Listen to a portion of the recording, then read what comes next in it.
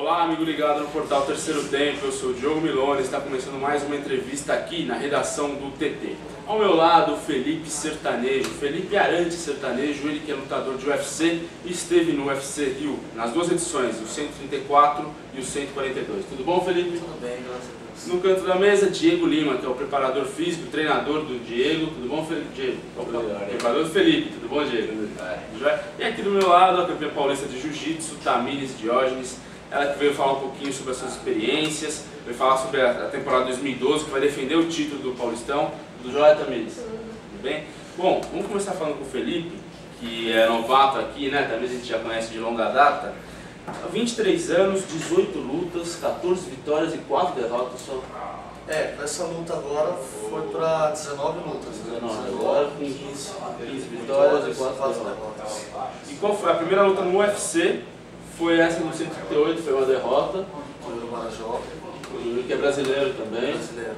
Também foi no card preliminar. É, por curiosidade, eu acabei entrando no lugar do Antônio Pato, que é o eu lutei agora, que ele se machucou com o Yuri. E de última hora me colocaram acabei lutando com ele. Depois eu andei no destino, eu acabei lutando com ele agora. Depois com o Pato, depois com ele, mediu força.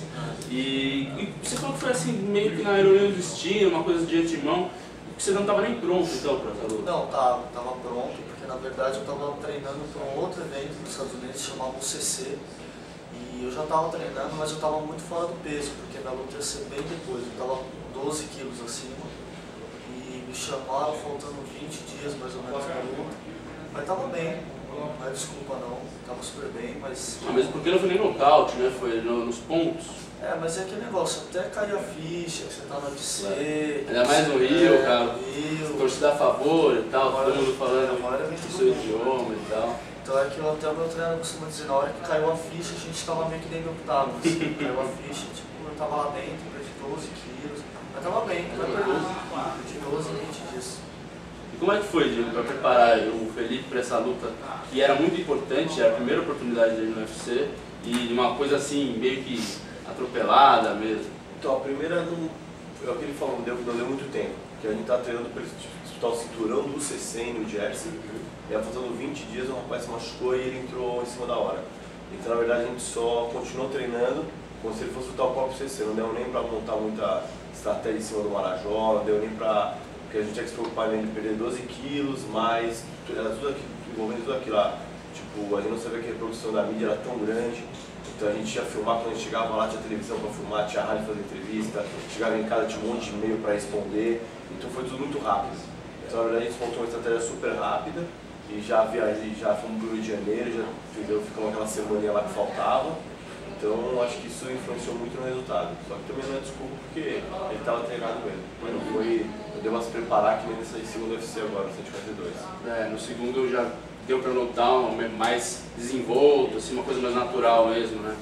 Entendi. Então vamos começar falando do início no esporte. Como que você se, se aprimorou? Você falou que luta o chutebox, né, que é a academia que você faz. Então a sua luta é mais aérea, mais no estilo. É, chutebox É é mais um em pé, né? Muay Thai, né? Muay É, Thai. Muay Thai. Eu comecei, eu tinha uns 10 anos mais ou menos, eu comecei a fazer Taekwondo. Eu tinha mais ou menos lá por volta de 13, 14 anos, quando eu conheci meu treinador. E comecei a treinar Muay Thai. Comecei a treinar Muay Thai pro blog, eu sempre gostei de luta.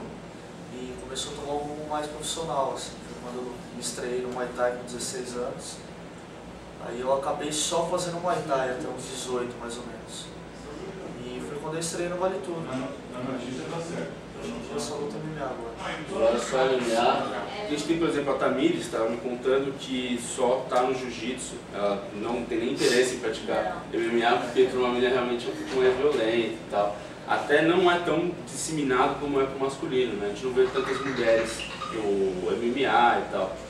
E, e ela falando que realmente é bem mais é, bem diferente mesmo para quem lutou só o jiu-jitsu, mesmo para quem lutou só o taekwondo, então, ou o boxe e tal. Para quem está no Muay Thai, para quem está só numa categoria, então você, é bem diferente de lutar o MMA.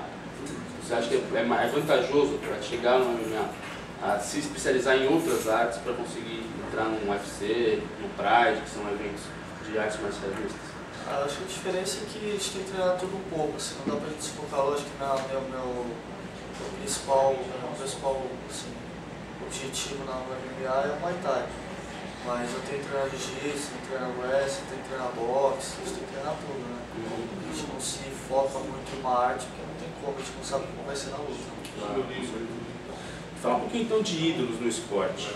A Tamires, numa outra entrevista, me falou que gostava muito do estilo do Vanderlei Silva, do José Aldo, verdade. Até pelo tamanho também, falou que é um pouco mais levinho. E você, qual que é um cara que você se espelha, que você gosta do estilo de luta? Cara, eu assim, não tenho um ideal assim que eu gosto, tem uns três, vai. Vou citar o próprio José Aldo, gosto bastante do estilo dele, do Jorge Saint-Pierre, que é um cara pra mim, o maior atleta de, de MMA que existiu. E acho que o Shogun, um cara bem completo, tanto no Muay Thai como no Jiu-Jitsu. São os três assim que eu. Não é que eu espelho que cada um tem seu estilo, né? Mas que eu, sou fã, assim. E você, Diego, com- vendo de fora, assim, dos estilos de luta, você avaliando qual que é um cara que você fala, realmente esse é um diferente? Então, se eu for falar assim, é, eu vou mais pelo coração. né? Minha- Eu sou o Vanderlei Silva mesmo. Acho que eu, tipo, como eu cresci na futebol, eu aprendi muito com ele, né? Ele era o chão da nossa equipe, assim, ele, quando eu lutava o Pride ali, era, parava a academia, parava, parava, parava o Brasil quando ele lutava, né? É que hoje a MMA já ganhou um, hoje já tem o Anderson Silva, o Shogun, o Aldo, mas eu ainda sou o Vanderlei. Ele é um dos primeiros mesmo, né? Tirando os Grace, lógico, que vieram lá de trás, mas o Vanderlei... É que na época dos Graces, é, eu acho assim, quando começou o MMA, cada um definia a sua arte. Os Graces definiam o jiu-jitsu, o pessoal o Muay Thai, o boxe, então o jiu-jitsu era bem melhor porque levava o pessoal pro chão, o pessoal não sabia se virar, não sabia. Agora hoje que o esporte evoluiu muito, todo mundo sabe um pouco de tudo. Então hoje não tem mais aquele papo de eu defender o jiu-jitsu, de defender o Muay Thai, defender o boxe. Hoje tem que saber nem um pouco tem que saber muito de tudo. Pra você poder. Então, é, e o Vanderlei ele se destacou nessa época, onde todo mundo sabia tudo. Entendeu? Na minha opinião, foi o primeiro assim a se destacar quando o MMA já era. já tinha dominado mesmo o mundo quase. né? E o Anderson Silva, cara, até conversando com a Tamiris também, a gente chegou, ela falou que tem muita gente que ela conversa fala que é um cara que é muito querido pe- pelos fãs, mas pelos rivais, por gente que entende um pouco mais, acha que ele é um pouco estrela demais, até por ser realmente hoje já é um garoto propaganda, tem essa coisa do marketing, até associado, associado ao Ronaldo, pelo futebol, com a Nine. E você falou que ele tem essa coisa um pouco estrela, né? Ele chega, o pessoal acha que ele é um pouquinho, vamos dizer assim, sabe um pouquinho da arte marcial e vai para um outro lado. Concorda com isso também? Você, não só pelo esse lado, mas você acha que ah, pode atrapalhar o cara entrar muito na mídia, mergulhar nessa coisa, deixar de lado um pouquinho outro lado, ou a outra parte? É que assim, é, a gente estava até comentando um dia desses, é, eu acabei de entrar no UFC, minha segunda luta, e a gente no peso da mídia, assim. Então, É, fico tem esse lado também, né? Imagina o Anderson Silva, como que é. Imagina o José Aldo.